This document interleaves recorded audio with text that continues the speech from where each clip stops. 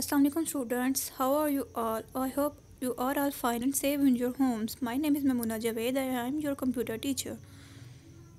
And now we will read our first chapter from book 4. The chapter name is Uses of Computer. The topics we will read in this chapter in this lecture are in filmmaking. In previous lecture we will read about the usages of computer at home and at school. हमने at home and at school usages of computer को read out किया था। Now in this lecture we will read in making films use of computer in making films and in space technology आज हम ये दोनों topics को read out करेंगे। And this topic is on your page number two this topic is given in your page number two of your book ये book के page number two पर ये टॉपिक गिवन है. You can get from there so you are also take out your books and copies and let pencils for underlining the important points now we read मैंने आपके जो book के points हैं, उनको first point को मैंने यहाँ पर लिखा है. नाउ हम इनको रीड करते हैं. और जौन से इंपॉर्टेंट पॉइंट्स होंगे, उनको मैं आपको नोट डाउन करने के लिए और अंडरलाइन करने के लिए कहूँगी, आपने उनको अंडरलाइन करना है। You should have to underline that points first of all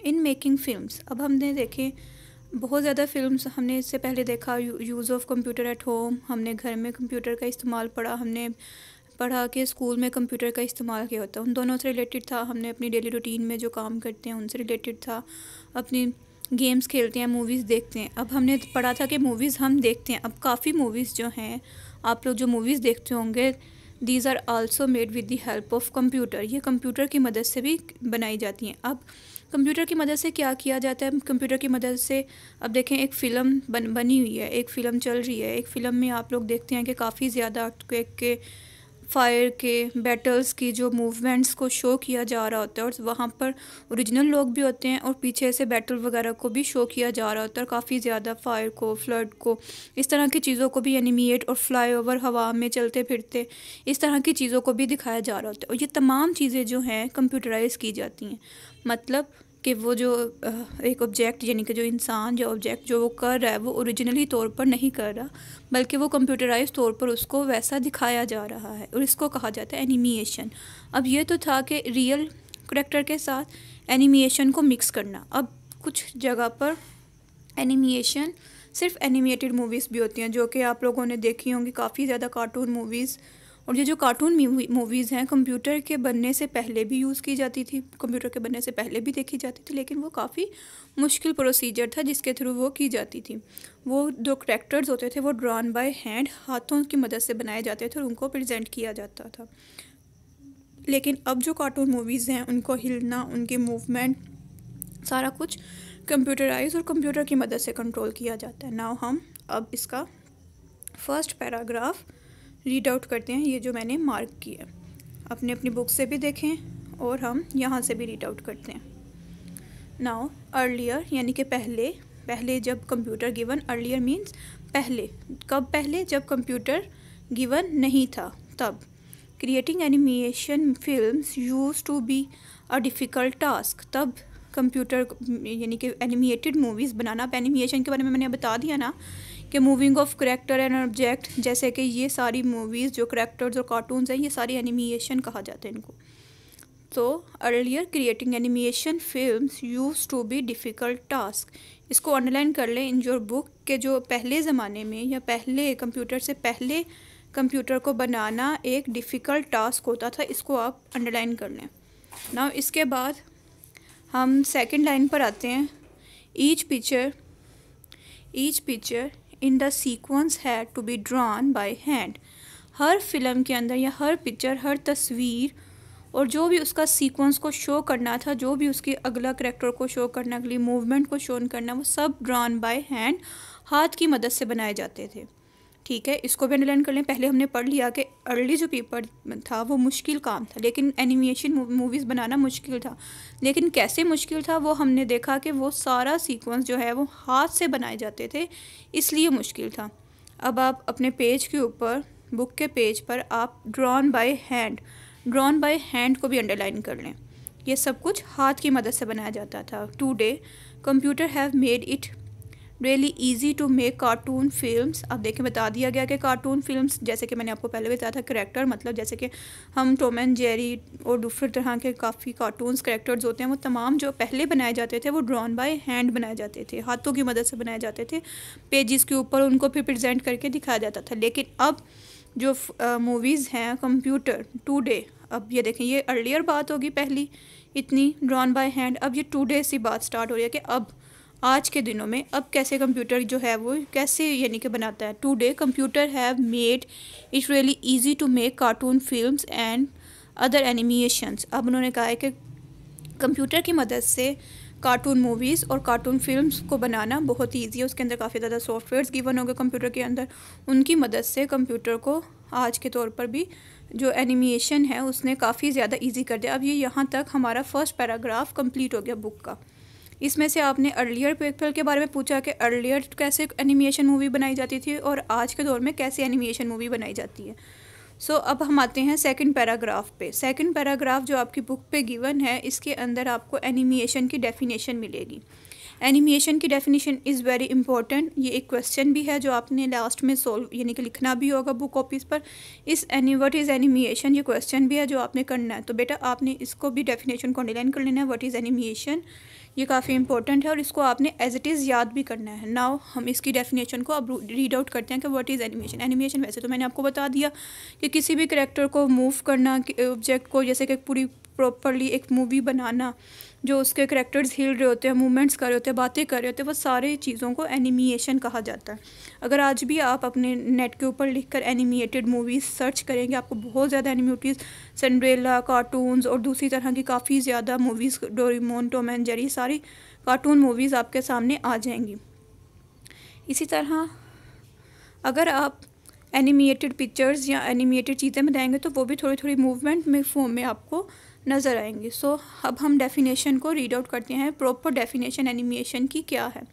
Animation is a technique animation जो है वो एक टेक्निक है एक अमल है एक तरीका है of giving an object object मतलब कोई भी करेक्टर जैसे कि जिसमें ये दो करेक्टर्स आपको पिक्चर में नज़र आ रहे हैं ये दोनों करेक्टर्स हैं और इनको ऑब्जेक्ट कहा जाएगा। इन ये दोनों ऑब्जेक्ट्स हैं जो आपके पास दोनों कार्टून करेक्टर्स गिवन है।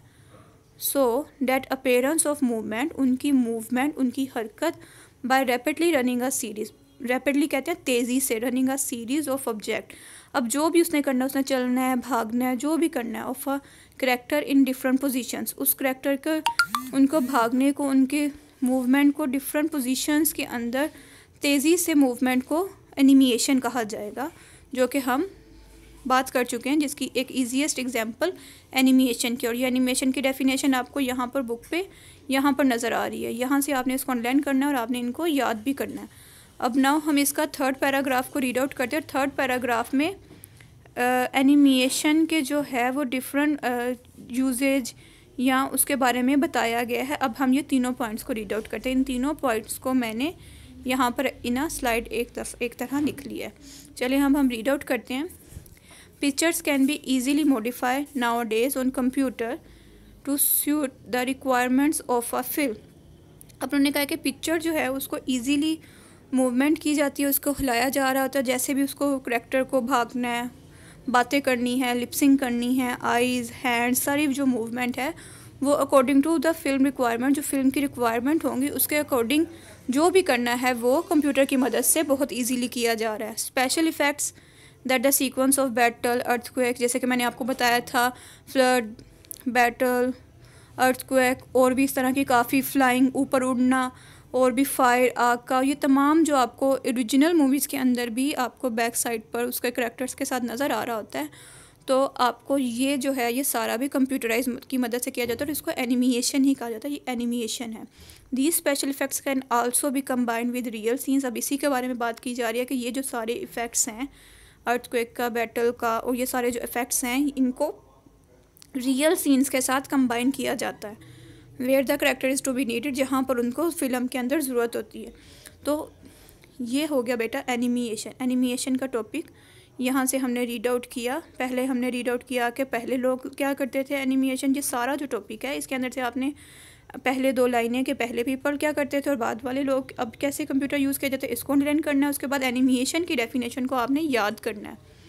ठीक है, अब हमने क्या डेफिनेशन रीड आउट की? यानी कि सबसे पहले हमने देखा कि जो पहले लोग थे, वो ड्रॉन बाय हैंड वो अपनी हाथों की मदद से सीक्वेंस को ड्रॉन करते थे और वो काफ़ी डिफ़िकल्ट टास्क था। ठीक है, उसके बाद हमने दूसरा पॉइंट करा कि computer have made it's really very easy to make a cartoon films अब कंप्यूटर की मदद से कार्टून मूवीज़ को देखना या बनाना बहुत ही आसान हो चुका है और फिर हमने डेफिनेशन पढ़ी। एनिमिएशन की. Animation is the technique of giving an object an appearance of a movement by rapidly running a series of an object और character in different positions animation जो है वो एक टेक्निक है जिसकी मदद से करेक्टर्स को डिफरेंट पोजीशंस में जल्दी से मूव ऑन करने के लिए इस्तेमाल किया जाता है। उसके बाद हमने ये टेक्निक्स के बारे में पढ़ा कि जो कार्टून मूवीज़ हैं वहाँ पर बहुत आसानी से किया जाता है, जो भी उनकी ज़रूरत है रिक्वायरमेंट उसके अकॉर्डिंग उसके बाद हमने देखा कि जो sequence of battle earthquake fire flood और फ्लाइंग उड़ना वगैरह, वो सारे जो सीक्वेंस है, वो भी एनिमेशन यानी कि कंप्यूटर की मदद से किए जाते हैं और ये तमाम अफेक्ट्स को रियल सीन्स के साथ कंबाइन करके तो एक फ़िल्म प्रजेंट की जाती है। अब हमारा जो सेकंड टॉपिक है बेटा, जो हमने सेकंड रीड आउट करना है डेट वाज स्पेस टेक्नोलॉजी ये भी पेज नंबर टू और पेज नंबर थ्री पर गिवन है। तो पहले हम इसके सम सेटेलाइट्स के बारे में देखेंगे। सेटेलाइट्स के बारे में आप लोगों ने सुना होगा कि सेटेलाइट्स मींस वो तमाम चीज़ें स्पेस टेक्नोलॉजी स्पेस टेक्नोलॉजी से जब हम बात करते हैं तो सेटेलाइट्स के जहन में आ जाता है तो सेटेलाइट्स मीन्स वो रॉकेट्स जो, वो जिसकी मदद से हम खला में जो भी इंफॉर्मेशन है उसको गेट किया जाता है, उसको हासिल किया जाता है। चलें, अब हम इसके बारे में रीड आउट करते हैं कि अब मैं इनके बारे में बताऊँगी आपने कौन सी लाइन को लर्न करना है और कौन सा आपने याद करना है। Computer are widely use in space technology computer जो है वो बहुत ही वाइडली यूज़ होता है in space technology computer are use to monitor and control space equipments light satellites अब कंप्यूटर जो है सेटेलाइट तो एक रॉकेट है, जो भी चीज़ है, उसको हमने ऊपर आसमान में भेज दिया।